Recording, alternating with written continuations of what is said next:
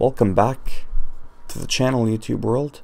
A very simple fix for people that have updated the game to 1.06. It's called delete the game. Reinstall it.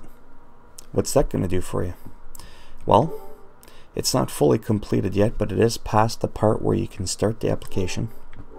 And when we go to Days Gone, and we go to Information, look at the version 1.06. 05. Look at the date.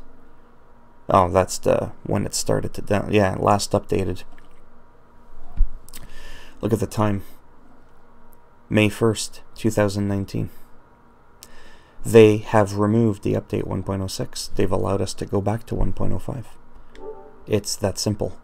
I highly doubt that everybody is made aware of the fact that if you delete your game and you re-download it, it's going to revert you back one patch. That's pretty amazing. I wish the devs would have, you know, told us about that on their Twitter page or whatever. But uh, there you have it. So it's just that simple.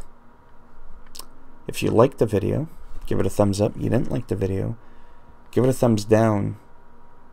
But this time I'll make sure when you download the game, it just doesn't download it says, nope, you deleted me.